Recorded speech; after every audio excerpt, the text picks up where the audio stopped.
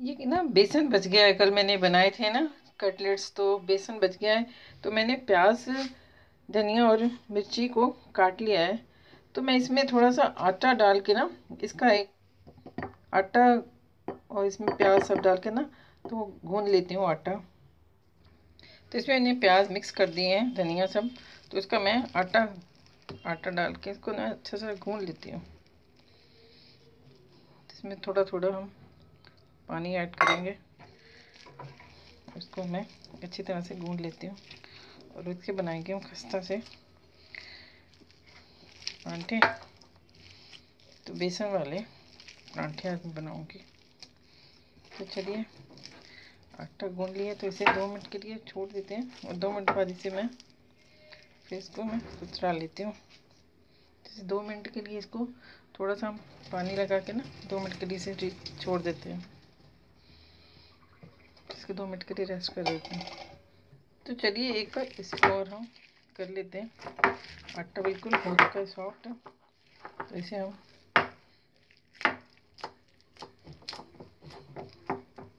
हो गया आटा। चलिए हम तो चलिए, आटा हो गया रेडी तो चलिए बनाते हैं इसकी चपाती, पराठी। तो चलिए हम बनाते हैं इसकी। पराठी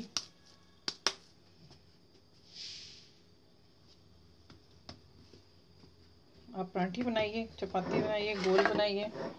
तो हम बेल लेते हैं। थोड़ा सा लगाएँगे पलिथन और ये हमारी बेसन वाली बहुत ही इफ़ेक्टिव क्योंकि डायबिटीज़ पेशेंट को भी बेसन रिकमेंड किया जाता है। तो आप इसको वेस्ट ना समझें। जो भी चीज़ बचती है उसे यूज़ क्या करें। तो इसे मैंने बेल लिए तवा हमने करा गरम। तो इसे तवा भी हमने गरम रख दिया है तो इसे थोड़ा सा लगाएँगे हम।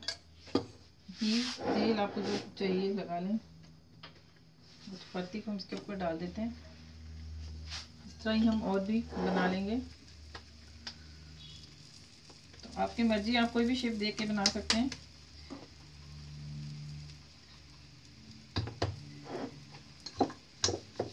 इस तरह ही हम बेल के बहुत ही क्रिस्पी बहुत ही प्यारी तैयार हो जाएँगे आपके लिए।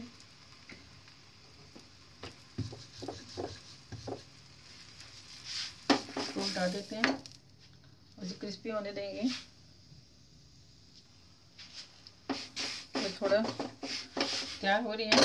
इधर मैंने ये भी बेल लिए हैं। तो चलिए इसे तैयार कर लेते हैं।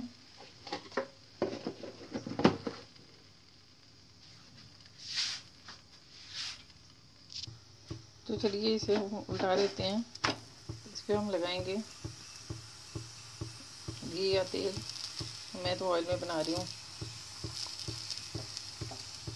ऑयल भी अच्छा होता है हेल्थ के लिए। बहुत ही क्रिस्पी बनेगी। वाह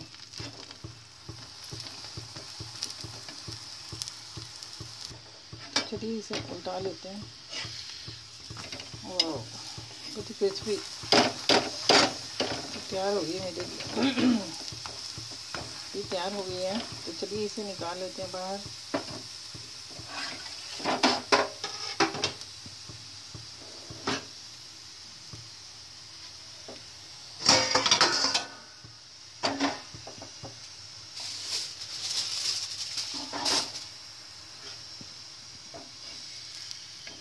बाहर निकाल लेते हैं। और दूसरी भी डाल देते हैं, तवा गर्म है। तो मैंने ऐड कर दिए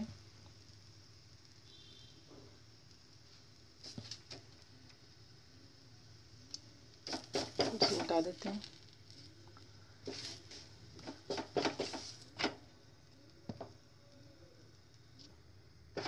ऐड कर देते हैं। ऑयल।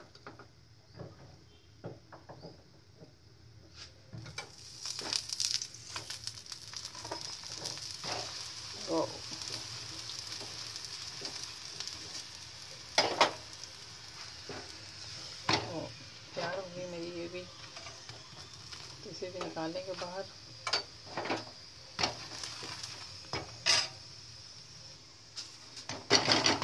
ओ, तो इसे भी निकाल लेते हैं। ओ,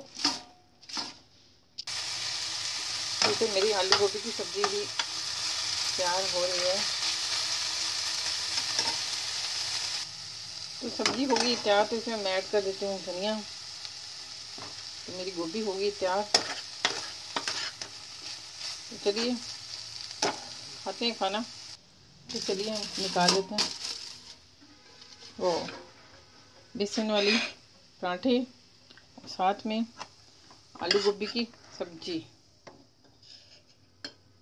तो खाना हो गया तैयार। तो बेसन की रोटी वो और आलू गोभी की सब्ज़ी। तो लीजिए, खाइए आप लोग। तो चलिए तैयार हो गया खाना तो चलिए खा लेते हैं।